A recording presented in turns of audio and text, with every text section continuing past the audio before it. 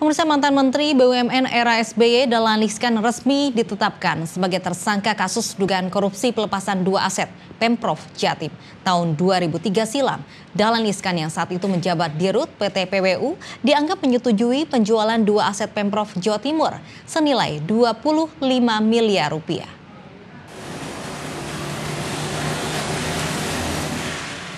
Salah satu dari 33 objek dalam kasus penyimpangan pelepasan aset Badan Usaha milik daerah BUMD Pemprov Jatim PT Pancawira Usaha PWU berada di Kabupaten Tulungagung.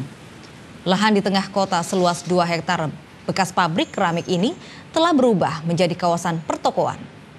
Setelah pabrik keramik ditutup tahun 2003, aset tanah dan bangunan kemudian dilepas kepada PT Sempulur Adi Mandiri dan di tahun 2005, bekas bangunan pabrik keramik dibongkar dan dibuka kawasan pertokoan Panglima Sudirman Trade Center.